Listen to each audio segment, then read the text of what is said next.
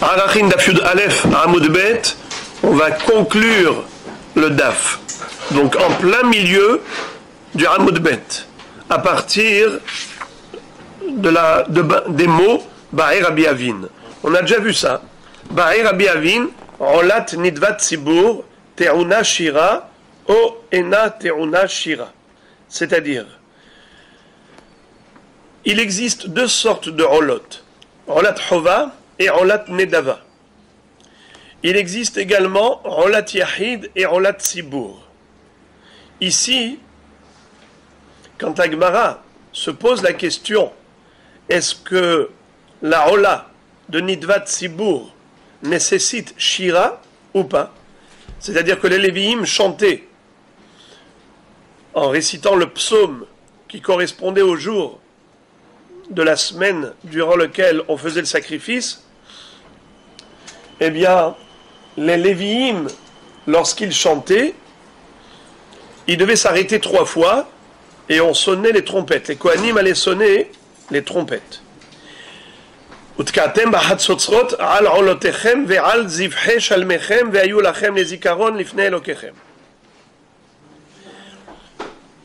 Quand est-ce qu'il y a une mitzvah de chanter? C'est au moment de la libation de vin.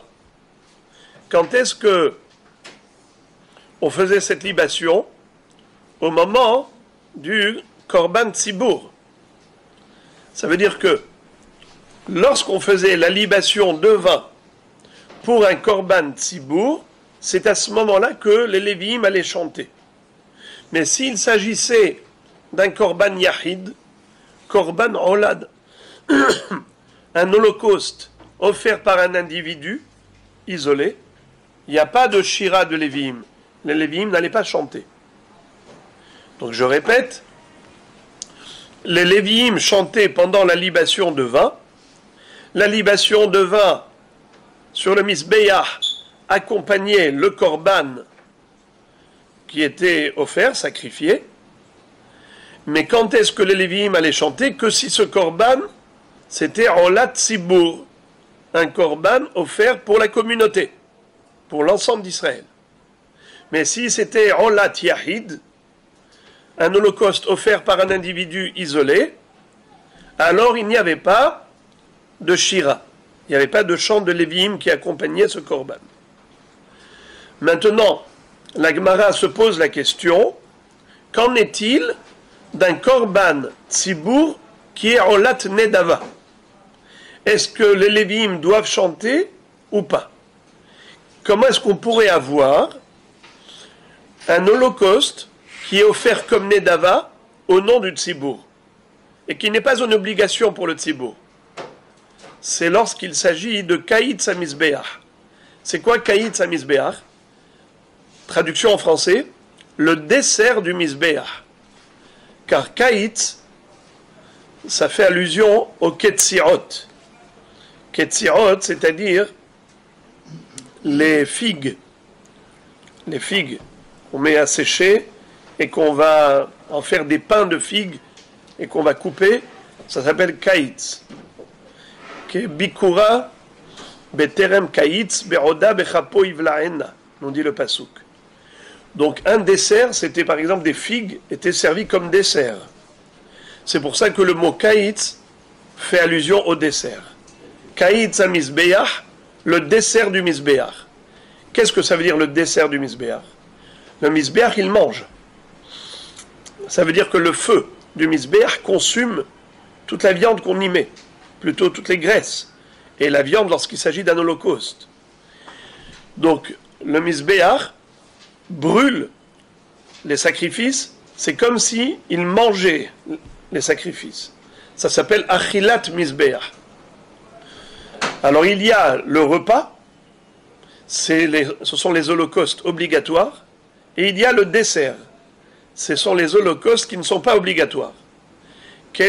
avec quel argent on achète les holocaustes obligatoires et avec quel argent on achète les holocaustes qui ne sont que facultatifs qu'une Edava du Tzibour, eh bien, c'est avec le Machatzit Shekel. Mais il y a deux Machatzit Shekel. Il y a le Machatzit Shekel de cette année, et il y a le Machatzit Shekel de l'année précédente.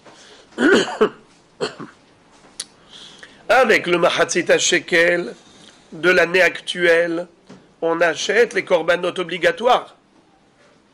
Mais avec le Mahatzita Shekel de l'année précédente, ce qui restait dans les tirelires, eh bien, on achetait les corbanotes Tzibour qui sont facultatives.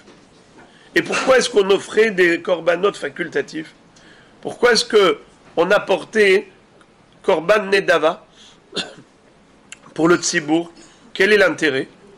L'intérêt, c'est de ne pas laisser le misbéach en chômage. Il ne faut pas que le misbéach soit vide. Il faut qu'il y ait toujours des sacrifices. Alors, ou bien les gens, ils apportent des sacrifices, mais le jour où on n'a pas beaucoup de sacrifices, pour pas le laisser vide, alors au-delà du korban atamid chez le shahar et, korban atamid chez le ben le korban atamid du matin et le korban atamid de l'après-midi, qui sont des korbanot sibour obligatoires, on apporte aussi des rolot nedava chez le tzibour. Et ces rolot nedava chez le tzibour qu'on met comme dessert pour le misbéah, pour ne pas qu'il reste en chômage, étaient achetés avec l'argent qui restait dans les coupottes de l'année dernière, avant Hodesh Nissan de l'année actuelle.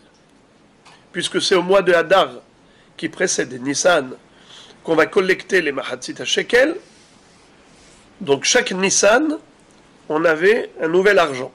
On l'apprend du Pasouk, Zot Rolat Hodesh Behodsho, les Hodshe Hashana les Haddesho Kolshana. Bon, maintenant, l'Agmara se demande quel est le din de la Shira? Pour le Rolatatamid Shel Shahar et Rolatatamid Shel Ben Arbaim, évidemment, on le sait que les Lévim doivent chanter, doivent accompagner le sacrifice avec leur chant.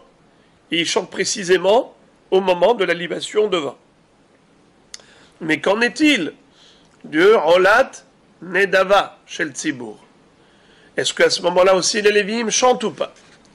Par rapport à cela, la Gemara a répondu que oui, en effet, les Lévim doivent chanter. De quel passou qu'on l'apprend? Rolotechem. C'est écrit comme ça. Utkatem bahatzotzrot al rolotechem. Et quand est-ce qu'on sonnait de la trompette, c'était au milieu du chant. Donc le chant était nécessaire. Si tu parles de Tkia, c'est que tu parles aussi de Shira. Qui dit Tkia? La sonnerie avec trompette, ça se faisait au milieu du chant. À quel moment au milieu du chant? Les Lévi'im s'arrêtaient de chanter trois fois. Le chant était réparti en trois. One, on, chant, et on sonnait. Two, on sonnait. Three, et on sonnait. Ça veut dire que si la Torah te dit al olotechem, olot au pluriel, c'est olat hova et olat nedava. Donc on a la réponse à notre question. Faut-il chanter? Est-ce que les Lévim devaient chanter au moment de olat, nedava? Réponse oui, puisque c'est écrit qu'il faut sonner la trompette pour olat nedava, et d'où je sais? Parce qu'il écrit Rolot Techem, vos Rolot, on parle du, des Rolot Sibour et pas de Rolot Yahid. Donc, nous dit la, euh, la Gemara, Ahat Rolat Hova, ve Ahat Rolat Nedava. La Gemara dit, mais peut-être que non. Odin Ma'olotechem, découlehu Israël, Kama Rahamana. Qui te, dire que, qui te dit que Rolotechem, ça fait allusion au Rolot Hova et Rolot Nedava, et donc c'est le pluriel. Je peux te dire que le pluriel, c'est que Rolot Hova, pas Rolot Nedava. Et pourquoi c'est au pluriel? Parce qu'il existe deux sortes de Rolat Tzibur. Rolat de Tamid et Rolat de Moussafim. Lorsque, pendant les fêtes ou Shabbat, on offre un korban Moussaf, on a là-bas aussi des Rolot. Comment c'est écrit? Ou Shabbat, Shne Asonim, Solet Belula, Bashmen Lisko, Olat Shabbat Beshabbato, Al Olat Atamid Veniska. Ça veut dire quoi Rolat Shabbat Meshaboto, Al Rolat Atamid. Ça veut dire, à part le Rolat Atamid de tous les jours, que tu vas offrir Shabbat, tu vas offrir en plus Moussaf. C'est pour ça qu'il s'appelle Moussaf, parce qu'il est mossif. Donc il apporte un korban Rolat Moussaf. Eh bien, à ce moment-là, les chantent. À ce moment-là, Lévim chantent. À ce moment-là, on sonne la trompette. Mais qui te dit que pour la Rolat Nedava, on sonne la trompette et on, chante? Peut-être que non. Donc on est resté au point mort. Casse départ. Est-ce qu'il faut chanter? Est-ce que les Lévim chantent pendant Rolat Nedava de Kate Beach Oui ou non? La Gemara va tenter de répondre par le, le suivant. Tashma, viens écoute ce pasouk qui figure dans le livre d'Ivré Ayamim, le livre des chroniques. Là-bas, on nous parle des sacrifices offerts à l'époque du roi Chizkiah. Lorsque Chizkiah Meler avait purifié le Beth il a demandé d'offrir des corbanotes. Et là, il est écrit Vayomer ha'ola le'amizbeyah ube'et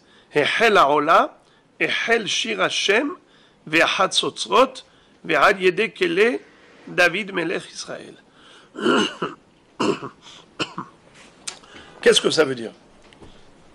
Le roi Ézéchias a demandé d'offrir le korban Ola sur le Misbéach.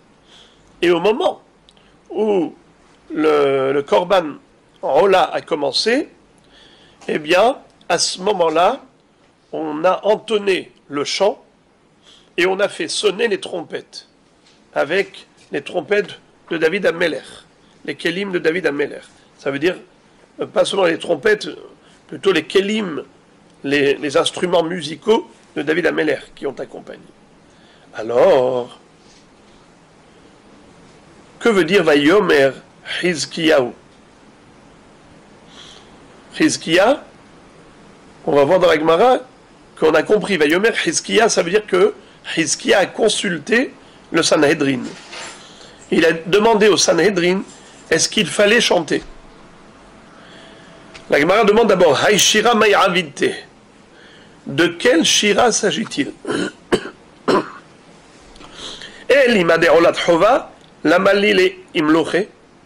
Si on parle du korban rola quotidien, c'est une obligation de chanter.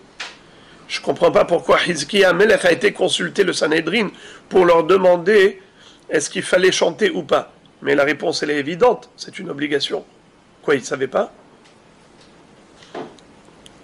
Et la lave des rolat nedava. Donc forcément, de quel rolat s'agit-il? Il, s'agissait de rolat nedava que Hizkiya Melech a fait sacrifier au profit du peuple juif. Et donc il se posait lui-même la question est-ce qu'il faut que les Lévi'im chantent ou pas? Alors qu'est-ce qu'il a fait? Il a été demandé et posé la question au Sanhedrin. Il n'y a pas de précédent? Comment? Il n'y avait pas de précédent, c'est pas uniquement à qui avait des. Parce qu'il y a eu une période ah où le Beth Amikdash avait été euh, impurifié et par, avec la d'Azara et ainsi de suite. Donc euh, il y a eu une période de chômage. Donc il a posé la question est-ce qu'il faut chanter pendant la Rolat Nedava du Tzibour Ils lui ont dit que oui. Donc nous voyons qu'en effet, il faut chanter. C'est une preuve? A priori, oui. Rav Yosef réfute la preuve. Amar Rav Yosef, lo, ce n'est pas une preuve.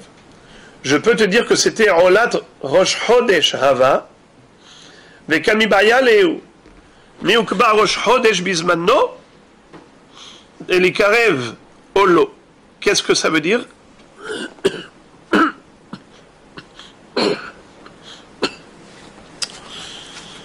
Il se peut que là, il s'agissait de Rola de Rosh Hodesh. S'il s'agissait de Rola de Rosh Hodesh, alors on le sait que le jour de Rosh il faut offrir un korban spécifique, qui est spécifique à Rosh. N'est-ce pas? Alors maintenant, Sa question, était celle-là. Est-ce que le Beddin ont déjà fixé le Rosh aujourd'hui, ou bien c'est demain? Il y a des mois creux, il y a des mois plats. Lorsque le mois il est creux, que de 29 jours, le lendemain, le 30e jour, c'est déjà le premier jour du mois suivant. Ça s'appelle Rosh Chodesh. Mais lorsque le mois précédent il est plein, il a 30 jours. Donc Rosh Chodesh, ça tombe quand? Le 31e jour. Le 31e jour du mois précédent, c'est le Rosh Chodesh du mois suivant. Alors en fait, sa question, elle était très simple. Il a demandé au Sanhedrin, est-ce que vous avez fixé déjà le Rosh Chodesh ou pas? Je sacrifie aujourd'hui ou demain?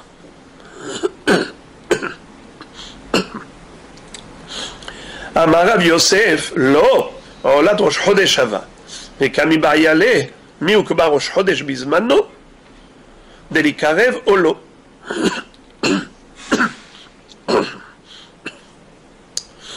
Amar le Abaye. Alors Abaye va dire à Rav Yosef. Qui était Rav Yosef pour Abaye? C'était son maître. Il va lui dire Rabbi, comment vous pouvez expliquer ce pasouk ainsi Que Rizkia Meler, lorsqu'il s'est questionné, s'est demandé est-ce qu'il fallait offrir le korban de Rosh Chodesh ou pas? C'était ça sa question. Omimatsit Amartari, est-ce que tu peux interpréter ainsi le verset? Véactive Pourtant, il est écrit Ubeyom Shisha Asar la Chodesh Arishon, Vayomer Hizkiyahu, Le'alot Ha'ola, la Misbeyah. Qu'est-ce que ça veut dire? Il est écrit que le 16 Nissan, c'est quoi Chodesh Arishon? C'est quoi Chodesh Arishon? Nissan. Il est écrit que le 16 Nissan, quand ils ont terminé,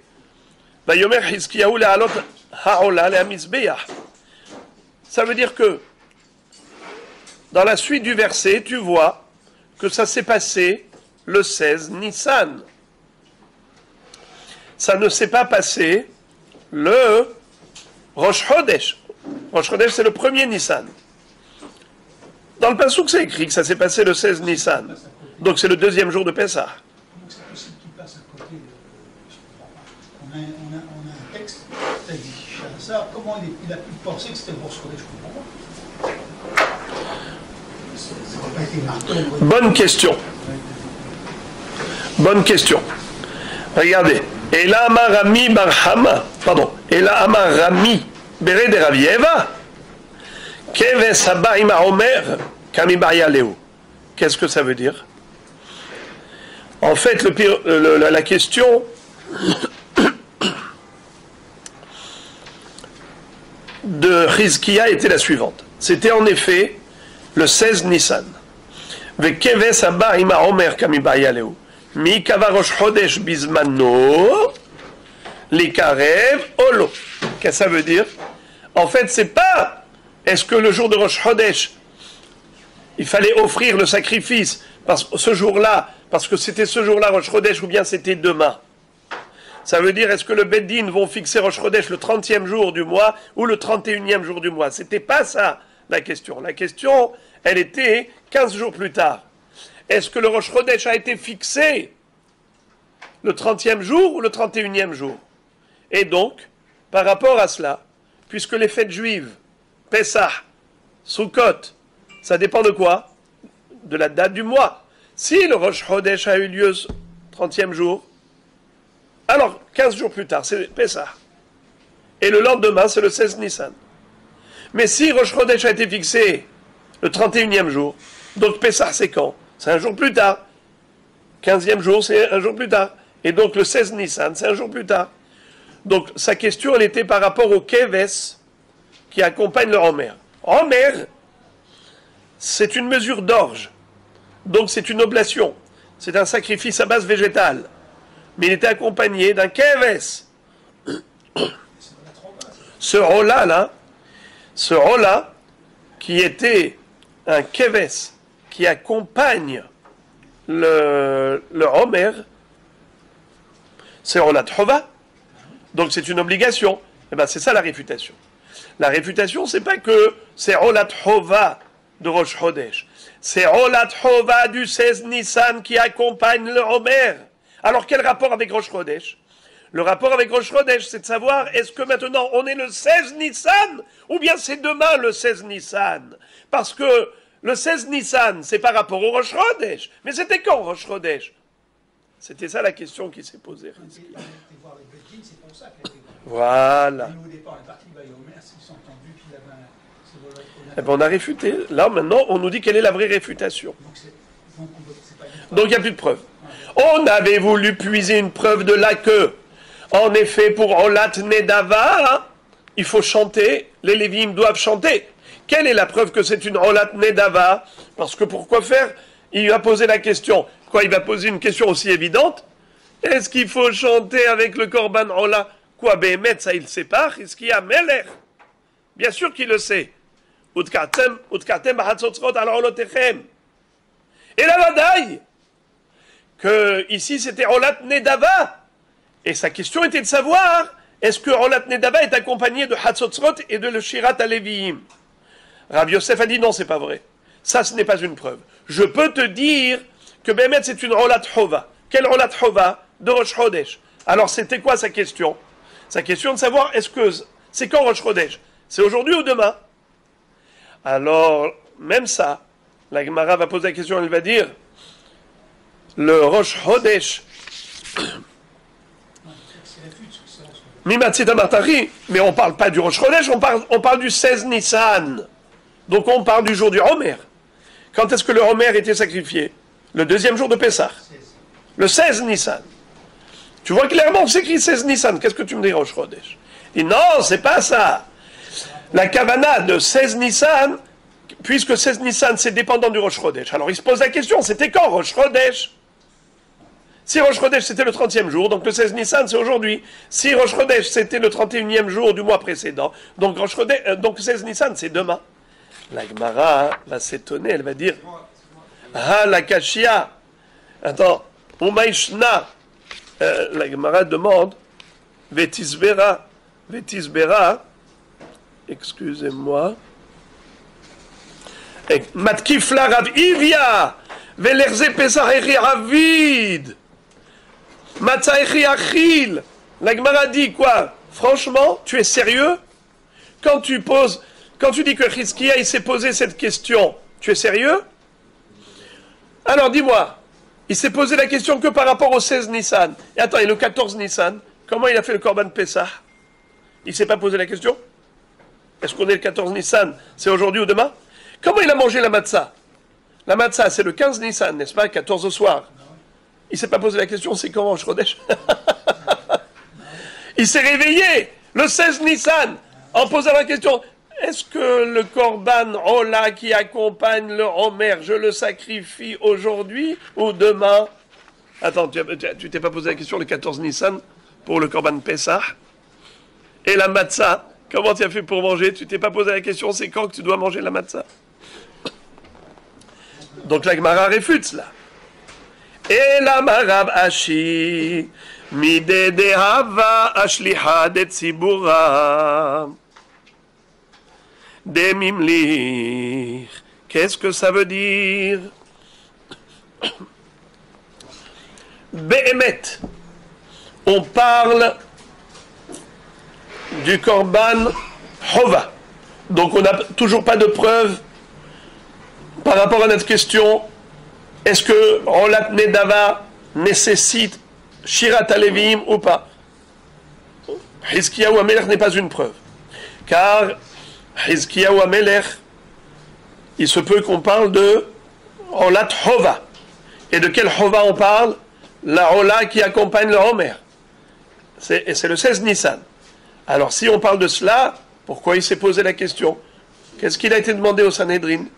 On a besoin de consulter le Sanhedrin pour une chose évidente. C'est sûr que Rolat Hova doit être sacrifié, il y a la Shirat Alvim et tout. Malgré tout, il a posé la question, non pas par rapport au Rosh. Est-ce que Rosh c'est aujourd'hui ou demain? Parce que si c'était ça sa question, il aurait posé déjà depuis le 14 Nissan pour le Korban Pessah. Et pour la matzah du 15 Nissan, il n'aurait pas attendu le 16 Nissan pour le Romer. Ça, c'est sûr que ce n'est pas ça la question. La question, elle est, malgré tout, est-ce que, Rabotaille, j'offre le sacrifice du Romer?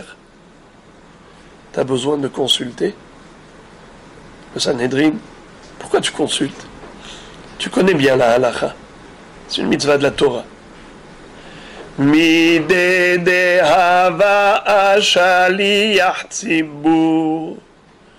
shaliach tzibur, il peut monter tout seul, mais il doit attendre. Il dit, Botaï, je monte. D'abord, on lui dit. D'ailleurs, même au début, il faut qu'il fasse semblant de ne pas vouloir. Comme ça. Première fois, il dit non. Deuxième fois, il fait comme ça qu'il se lève, mais il hésite, est hésitant. Troisième fois, il y va. Par Anava. Est-ce que je suis Raoui d'être Shaliach Tzibour Shaliach Tzibour Mimlich C'est pareil pour toute responsabilité communautaire. Il faut se concerter. Même Akadosh Baruch nous a donné l'exemple. Quand il a créé l'homme, il a consulté les anges. Pourtant, les anges eux-mêmes, ce sont ses créatures. Je va dire au Malachim, Naase Adam, Betsalmenu Kidmutenu. Est-ce qu'on fait l'homme? Et là-bas, Rachi rapporte que les minimes, les gens non croyants, peuvent s'accrocher au verbe au pluriel, Naase Adam, faisons l'homme. Pluriel, ça veut dire qu'il y a de nombreux créateurs. Has Shalom est-ce qu'il existe deux autorités créatrices dans le monde? Halila En Od Milevado Alors pourquoi c'est écrit au pluriel Naase Adam? Linda Torah derech eretz pour nous apprendre la politesse, pour nous apprendre le mode de vie, le comportement positif. Gadol nimlach bakatan que le grand se concerte avec le petit et qui ne prennent pas les décisions tout seuls. Et ne dis pas, ouais, mais il est plus petit, il est plus jeune, je vais lui demander conseil à lui. Oui. Tu n'es pas mieux que Kiviachol, à Kadosh Baruch qui nous a donné l'exemple en demandant conseil aux anges. Naase Adam, Betzalmeinu Kidmuteinu. Et d'ailleurs, les Malachim ont eu leur mot à dire. Il y a eu des Malachim qui ont dit non, d'autres qui ont dit oui. Par exemple, les malachim du Emet, ils ont dit surtout pas. L'homme, c'est du sheker. Du matin au soir, c'est un chakran. Koulosh karim. Qu'est-ce que tu vas créer un, être de shkarim Alors que toi, Hachem, tu es Emet. Hachem Elokechem Emet. Les malachim Hesed vont dire oui, il faut le créer. Parce que l'être humain va faire beaucoup de Hesed. L'homme, il est généreux, il fait beaucoup de bien. Il faut le créer. Les malachés shalom vont dire non, ne pas le créer. Kuloktatot, que des disputes. Du matin au soir, il cherche la petite bête. Il critique à droite, il critique à gauche, et il a des bras de fer par-ci, des bras de fer par-là. Tu veux créer l'homme qui est kuloktata, c'est contre le shalom. Vayomerlo Hashem shalom. Hashem Yevarech et Amo Shalom. Qu'est-ce que fait Akadosh Baruch Il prend le Emet et il envoie sur terre. Hishlich Emet Arza, Sheneemar Emet Me'eret Titzmach, et Tzedek Mishamayim Nishkaf,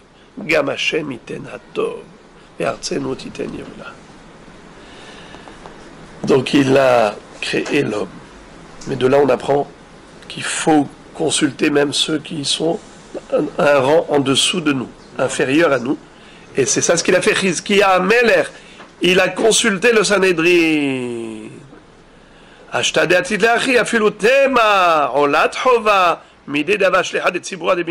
Donc on n'a même pas besoin de parler du 16 Nissan. Ben, n'importe quel Ola, il aurait demandé au Sanhedrin, Rabotai, c'est quoi la halacha?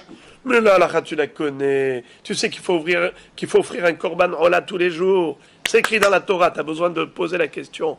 Oui, comme un chaliar tzibour qui consulte et qui ne fait pas les choses de son propre chef. Alors, à vous la parole, puisque je vois qu'il y a...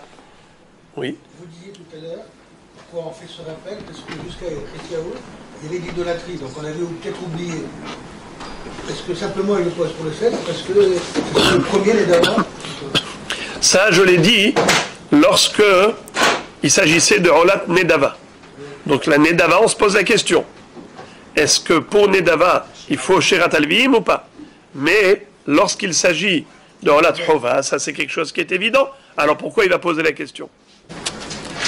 La Gemara dit Tashma, on va tenter de répondre à la question initiale, à savoir, est-ce que Korban Nidvat Tzibur, Rolat Nedava chez Tzibur, nécessite Shira ou pas? Tashma. Viens, écoute la braïta qui figure dans Seder Olam.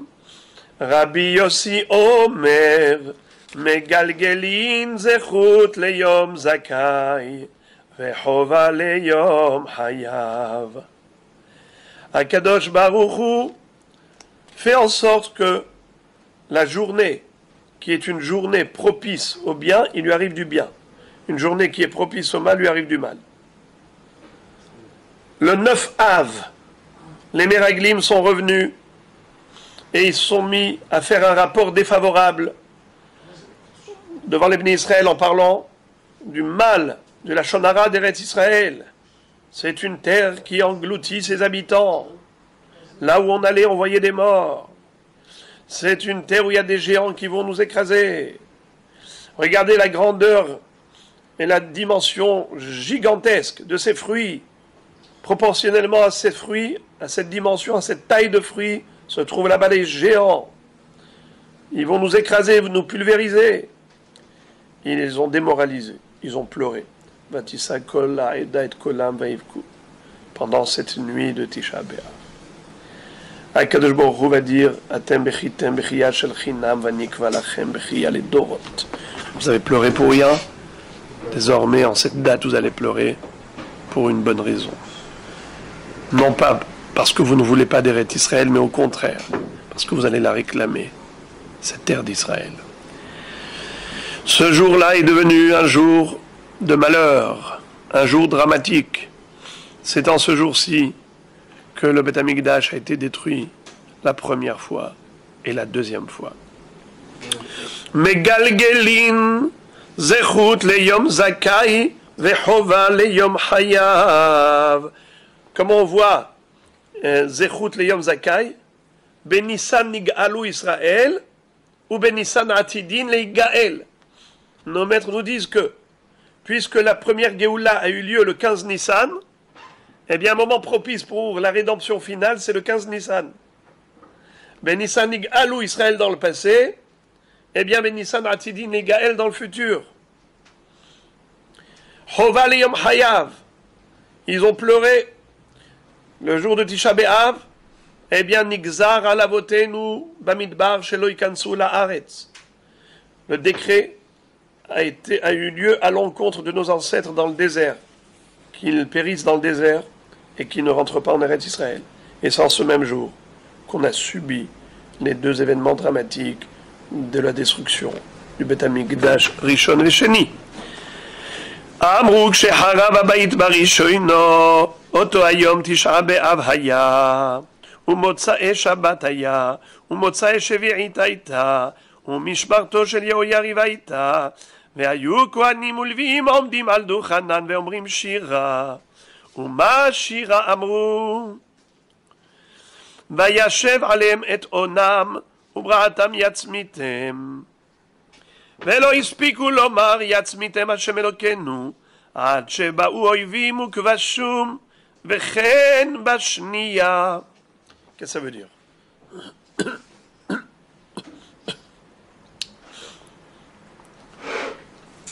Au moment de la destruction du premier temple, et la Braïta conclut en disant que ça s'est passé de la même façon au moment de la destruction du deuxième temple.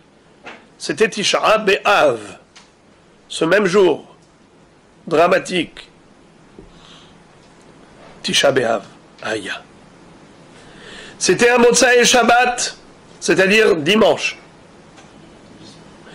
Hein, c'était pas la, la nuit, c'était pas le soir de Motsai Shabbat. Motsai Shabbat, ça veut dire le, lendemain de Shabbat. Puisque euh, le Beth il fonctionne pas la nuit. On ne, on ne se trouve pas là-bas en train de servir. Donc on parle de Motsai Shabbat, ça veut dire le dimanche. Ce jour de Tisha c'était un dimanche. C'était Motsai Shvit, ça veut dire la huitième année.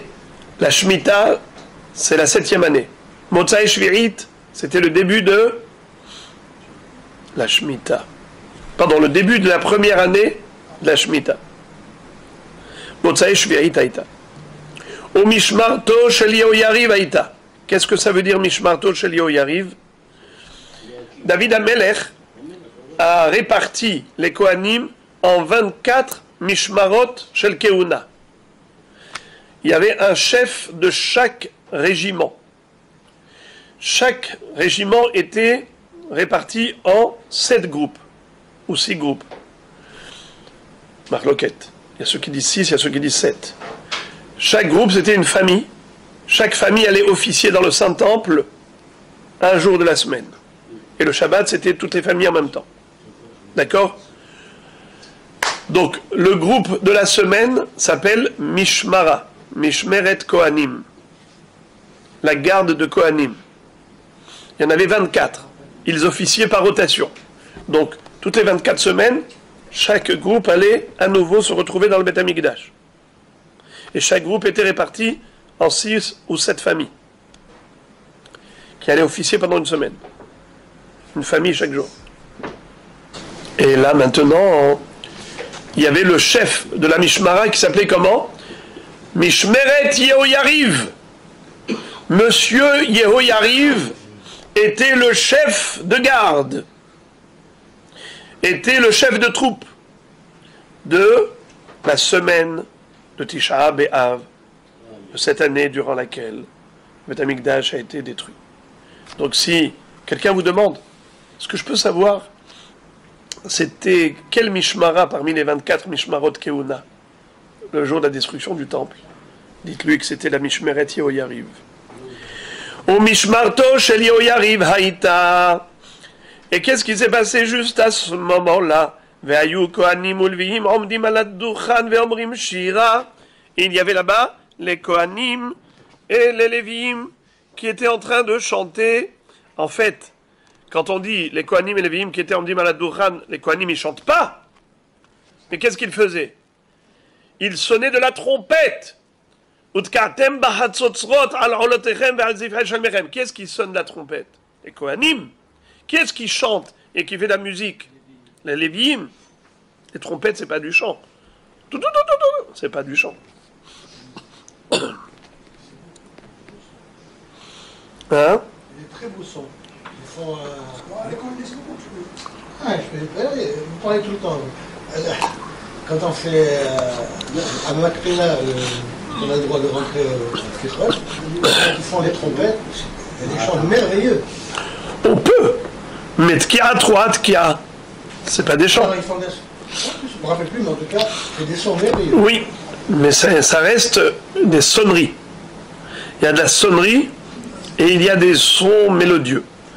Donc, euh, quand on prend euh, Nevel, Vechinor, Metziltaim, là on parle de musique. Mais quand on parle de sonnerie, c'est Tkia, trois Tkia. Alors, qu'est-ce qu'il chantait Umashira Amrou Quel était le chant des à ce moment-là? C'était le fameux chant de mercredi. Vayashev alehem et onam, ubraatam yatzmitem. ולא הספיקו לומר יצמיתם השם אלוקינו עד שבאו אויבים ורבשום. וכן בשנייה. Pareil pour le deuxième temple. Traduction des mots. Vayashev alehem et onam. Ubraatam yatzmitem. Yatzmitem Hashem Elokenu. Nous avons un pasouk très réconfortant qui nous dit que lorsque nos ennemis vont fomenter et comploter contre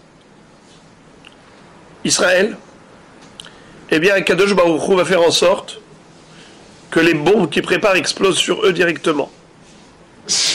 Harbam tavo belibam vekashtotam tishavarna.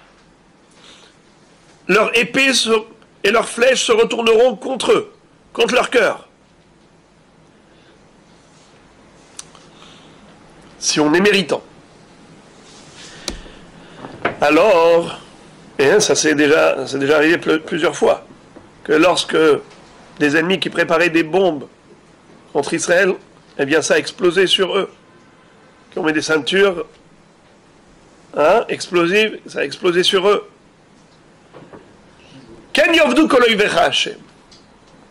Qu'ils disparaissent ainsi tous les ennemis d'Akadosh Baruch qui sont les ennemis d'Israël, qui veulent du mal gratuitement.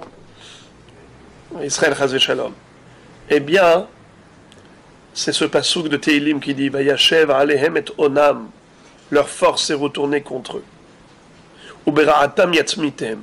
Et par leur mal, il va les éliminer. Yatzmitem Hashem Elokenu. Qu'Hachem, notre Dieu, les fasse disparaître à ses ennemis cruels, à ses ennemis méchants. Mais ils n'ont pas eu le temps de dire ces trois mots. Yatzmitem Hashem Elokeinu. Que l'Éternel, notre Dieu, fasse disparaître nos ennemis. Ils ont dit juste, Alem et Onam, Yatzmitem, en tant que si pour Devarim, tant qu'histoire, mais c'est pas la demande, c'est pas la prière. La prière, c'est ces trois mots. Yatzmitem Hashem Elokeinu. Akadosh Baruch ne leur a pas donné l'occasion de prier. Les ennemis sont venus, ils ont envahi le Beth Amikdash pendant Tisha B'Av. Ces Lévi'im n'ont pas eu le temps de prier en disant ces trois mots que Akadosh Baruch fasse disparaître nos ennemis, que les ennemis sont déjà arrivés et les ont conquis, les ont envahis et les ont soumis. Et on connaît la catastrophe, la tragédie de cette période de Tisha.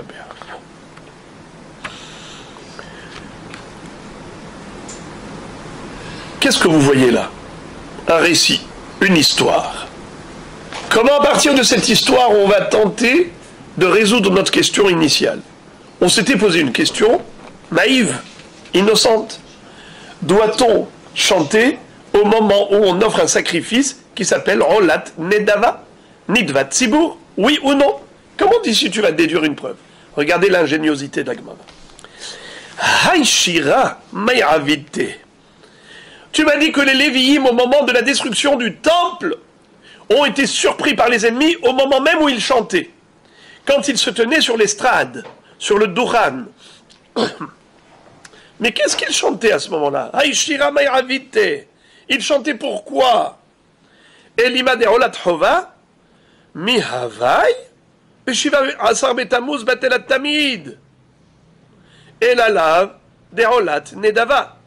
Qu'est-ce que ça veut dire? La Gemara dit il chantait pour accompagner lequel Korban? Rolat Hova La Rolat Tamid classique Ce n'est pas possible, car on le sait. Depuis le 17 Tammuz, il n'y avait plus de korbanot dans le Beth Amikdash. Vous savez qu'ils achetaient les moutons auprès des ennemis qui étaient derrière les murailles en train d'assiéger Jérusalem. De l'intérieur, on envoyait aux ennemis un coffre plein d'or et d'argent, et les ennemis nous, vendaient en contrepartie un mouton qu'on sacrifiait comme Corban Atamid, jusqu'à ce qu'un conseiller malin est venu voir le chef d'état-major. Il lui a dit Mais tu donnes aux juifs le Corban Atamid, mais c'est ce qui les protège. Le Corban Atamid est une protection pour le peuple juif, c'est le dôme de fer, c'est la kippa de Barzel. Arrête de leur donner le moyen de se défendre. Tu en leur envoies la force nucléaire du Corban Atamid. Ils ont arrêté. Même à cette époque, ils ont envoyé un cochon qu'ils ont mis dans le coffre à la place du mouton. Quand le cochon a mis ses pattes sur la muraille de Jérusalem, Nizda, Zera, Eret, Israël, Arba, Meot, Parsa, Arba, Meot, Parsa. Il y a eu un tremblement de terre. Et à ce moment-là, on avait décrété que plus jamais personne ne, ferait de l'élevage de cochons. Les frères et les amis, la Gemara dit, donc je ne comprends pas, de quel Shirat Aleviim s'agit-il? Comment ils ont pu chanter pour accompagner le Korban Rolat Atamid Mais il n'y a plus de Rolat Atamid depuis trois semaines. Tisha B'Av est précédé du 17 Tammuz.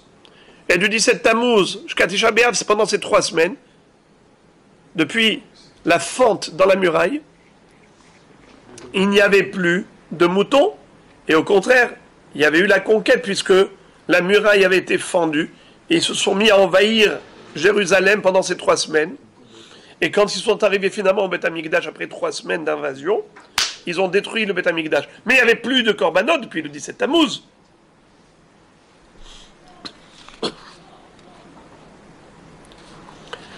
Alors comment ils ont pu chanter En fait, Symbolique. non, ils ont chanté pour Olat Nedava, pas pour Olat Hova.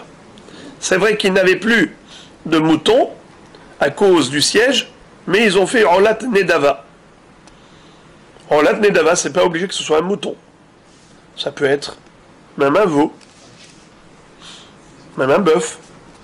Vetisbera, Maishna de Olat Hova de lo Havaï, Maishna Olat de Havaï. Je comprends pas. Si ils n'avaient pas de quoi sacrifier Rolat Hova à cause du siège, comment ils avaient de quoi sacrifier Rolat Nedava Je comprends pas. La Gemara dit Ha Lakashia. Ben Bakar. Ça veut dire que, c'est vrai, normalement, ils n'avaient plus de bêtes. Mais voilà qu'un jour, il y a eu un petit veau qui est passé par là, ils l'ont attrapé. Ils ont dit voilà, on a l'occasion d'offrir un sacrifice.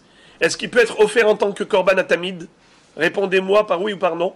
Pourquoi non? Bravo. Korban atamid, c'est keves. Et à keves boker.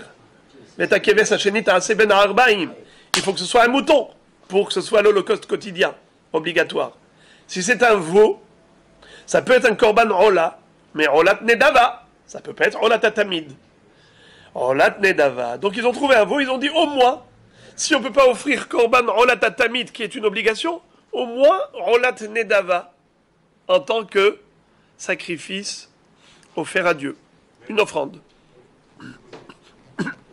Oui, On peut offrir des, des, des Ola Nedava comme ça, sans, oui, sans raison? Oui. On a déjà dit que il existe deux sortes de rolat nedava, Yahid et Tzibour. Yahid, il peut apporter quand il veut. Et le Tzibour, c'est lorsque le, euh, lorsque est en chômage.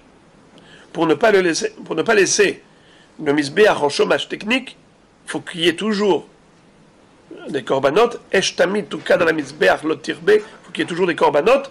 Eh bien, on offre des sacrifices facultatifs. Alors peut-être que comme ça, ils ont trouvé un petit veau, ils ont dit, Baruch Hashem, on va offrir au moins Rolat Nedava, si on ne peut pas offrir un mouton de Rolat Hova. Ça répond à quoi les amis? C'était quoi notre question? Est-ce qu'on chante? Pour Rolat Nedava Oui ou non? Qu'est-ce que vous en dites? De là, qu'est-ce qu'on voit? Oui, preuve, ils ont chanté pour Rolat Nedava. Et qui te dit que ce n'était pas Rolat Hova Ça pouvait pas être Rolat Hova, puisque depuis le 17 Tammuz, il n'y avait plus de Kvasim à cause du siège. Donc forcément, qu'est-ce qu'ils ont offert? Un veau qu'ils ont dû trouver, occasionnellement. Et donc c'était Rolat Nedava. Et pourtant, qu'est-ce qu'on nous décrit? Qu'au moment où les ennemis sont rentrés dans le Beth Amikdash à Tisha ils ont surpris les Lévi'im en train de chanter. Ça veut dire que quoi? Qu'ils chantaient à quel moment? Au moment du sacrifice d'un korban, Rolat Nedava. Réponse à notre question. Vous êtes contents Un petit sourire, les amis.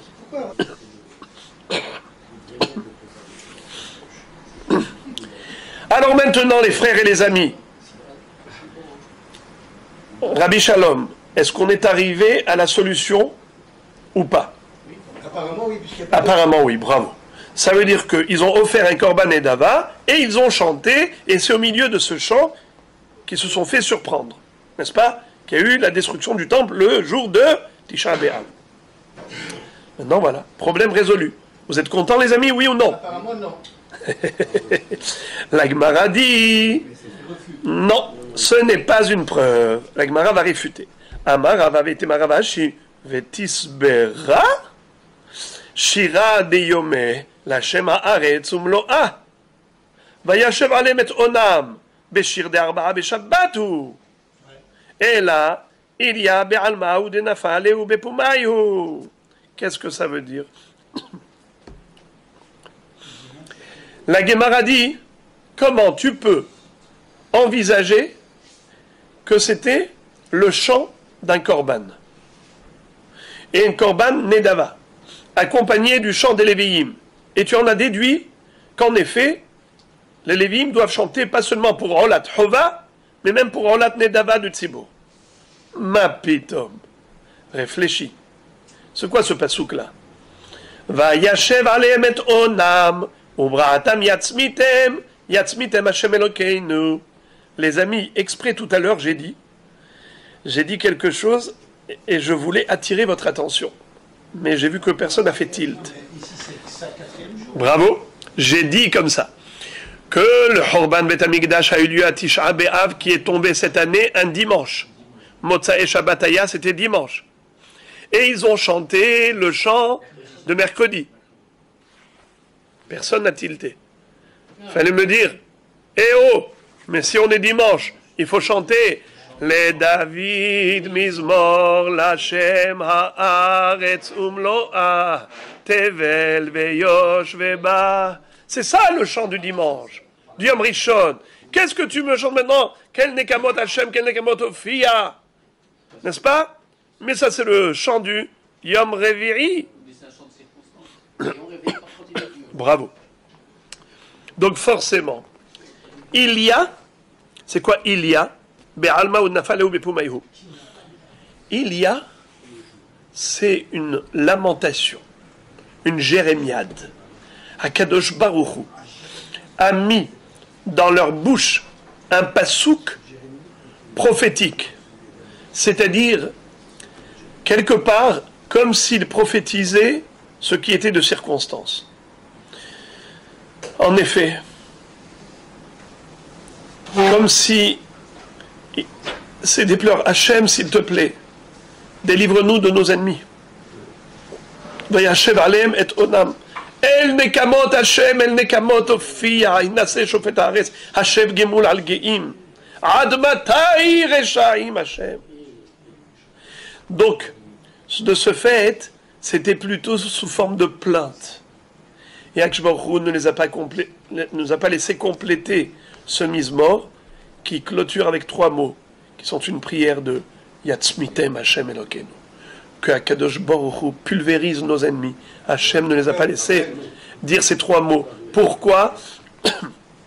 Car ils avaient tellement fauté en cette période de la destruction du temple qu'Hachem avait décrété que le Beth Amikdash soit détruit sans appel ni recours.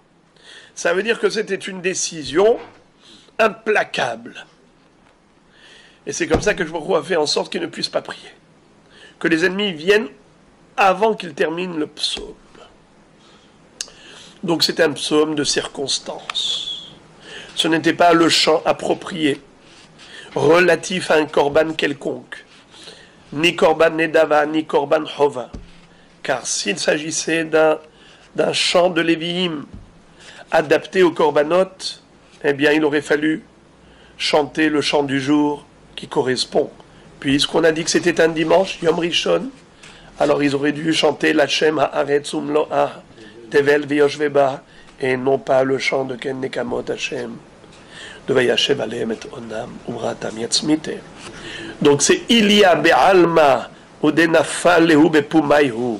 En araméen, ça veut dire en français, c'est une plainte, c'est une lamentation que Akadosh Baruch Hu a mis dans leur bouche pour qu'ils soient en adéquation avec la réalité qu'ils ont dû vivre au moment même. La Gemara dit, je ne comprends pas. katani.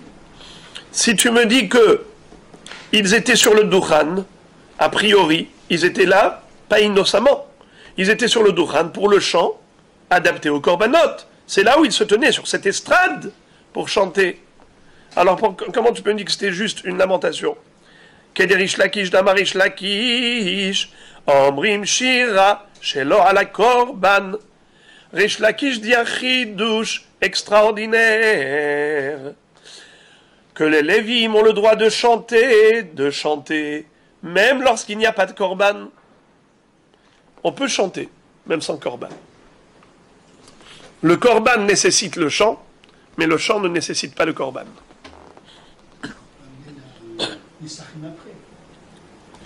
Ça veut dire que il n'avait pas de korbanot, c'est vrai. Il n'avait pas de korbanot. Mais il pouvait monter sur le Dokhan et chanter, sans aucun korban. Ni Olat Chova, ni Olat Nedava. Ils sont mis à chanter, mais Akshbaru l'a mis dans leur bouche, non pas le, chant du jour, il y a la lamentation, la jérémiade. La Gemara dit Iachi Berolat Nedava Lima. La Gemara dit Merci, merci. Tu as voulu me réfuter? En me disant qu'ils ont chanté juste comme ça, mais c'était pas Rolat Nedava Si on peut chanter même sans, cor, Korban, eh bien laisse-moi chanter avec Rolat Nedava. Maintenant que tu m'as dit qu'on peut déconnecter le chant du Korban, donc je, je ne suis pas obligé d'avoir un Rolat Hova pour chanter, alors laisse-moi chanter pour accompagner Rolat Nedava. Si, je peux chanter même sans rien. À plus forte raison que je peux chanter au moment du Rolat Nedava. Écoutez Rabotaï. La Gemara non. Chanter pour rien, tu peux. Chanter avec Rolat Nedava, non. Ah bon? Lama C'est le monde à l'envers, là. Tu as renversé la vapeur totalement. Regardez la Gemara dit Nafik mine hurba. Parce que euh, si tu chantes de manière facultative au moment de Rolat Nedava, il pourrait y avoir une conséquence grave. Laquelle? C'est que les gens vont faire des confusions. Qu'est-ce qu'ils vont dire? Ils vont voir que quand tu offres Rolat Nedava, parfois tu chantes, parfois tu ne chantes pas. Puisque chanter, tu peux chanter quand tu veux. Alors on a dit, c'est vrai que Rolat Nedava, peut-être ne nécessite pas de chant. Peut-être ne nécessite pas de chant. Mais moi, j'ai envie de chanter. Tu peux m'interdire de chanter? Non. Puisque je peux chanter même sans aucune raison. À plus forte raison que je peux chanter au moment où je fais, où je fais le Korban Nedava. Eh bien, Hachamim te disent non, ne chante pas pendant le Korban Nedava. Pourquoi? Ça peut porter et prêter à confusion par rapport à Olat Hova. C'est-à-dire Bravo. Les gens vont voir qu'au moment où tu fais le korban nedava, parfois tu chantes, parfois tu ne chantes pas, puisque le chant n'est pas obligatoire. Eh bien, les gens, qu'est-ce qu'ils vont croire? Que même pour Olat Hova, le chant n'est pas obligatoire. Quand tu veux, tu chantes, quand tu veux, tu ne chantes pas. Et là, c'est très grave. Car le Olat Hova, c'est sûr qu'il requiert le chant des Lévi'im. Vous entendez? À tel point où on avait vu que le, korban sans le chant, d'après certains, on n'est pas quitte. Alors les amis, Hachamim sont visionnaires. Ils voient loin. Et ils te disent, parfois il y a l'excès de zèle qui est dangereux. Si tu chantes des psaumes, les Lévi'im vont chanter au moment de Korban et Dava, même à titre facultatif, eh bien, facultatif, donc tu n'es pas obligatoire. Parfois tu le feras, parfois tu ne le feras pas. Qu'est-ce que les gens vont croire? Eh bien, les corbanotes ne nécessitent pas forcément de chant. Parfois, tu, chantes quand tu accordes en la trova, tu chantes. Quand tu veux pas, tu chantes pas. C'est pour cela qu'on dit non, en la trova qui a besoin de chant, tu chantes tout le temps. Et en la nedava, t'as pas besoin de chant, tu chantes jamais. Mais stam comme ça chanter, tu peux. D'après Rish Lakish. Et en effet, c'était ce qui s'était passé au moment du Horban Betamikdash. Ils avaient chanté à la Dukhan parce qu'ils voulaient offrir à Dieu un chant, une louange. Et chanter ne requiert pas le Korban. Mais le Korban, s'il est Hova, requiert le chant. S'il est Nedava, savait.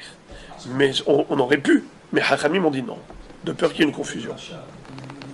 Rabotaï de la conclut, et on a terminé ici, en disant Maïha Ve'ala, finalement, après cette longue analyse, peut-on savoir finalement est-ce que oui ou non faut-il chanter au moment du Korban Nedava? Tashma,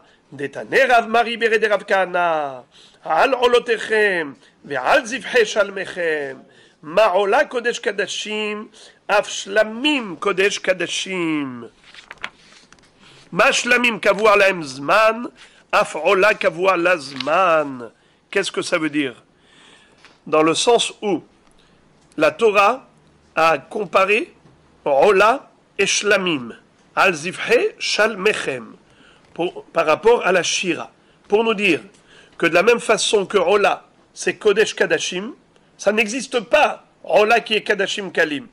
Qui dit Ola, Holocauste, c'est forcément Kodesh Kadashim, du niveau supérieur de la Kedusha, de la sainteté. Af Shlamim Kodesh Kadashim. De quoi on parle ici? Pas des Shlamim qui sont Kadashim Kalim. On parle par exemple des Shlamim du Tzibour. Zivhe Shalmei Tzibour, comme par exemple le Hag HaShavuot, on offrait des Shlamim au nom de tout Israël. Eh bien, ces Shlamim-là, Zivhe Shalmei Tzibour, Kodesh Kadashim. C'est pas Kadashim Kalim. Là, il faut chanter. Donc, lorsqu'on parle de, shlamim qui sont kodesh kadashim, il faut chanter comme pour le rola. Et également, ma shlamim kavua zman, af kavua zman. Et de la même façon que les shlamim en question, c'est les shlamim de Shavuot qui ont un zman kavua dans l'année, ainsi les rolot dont on parle, on parle des rolot qui sont kavua. Mais rolat nedava ne- n'est pas accompagné de chant.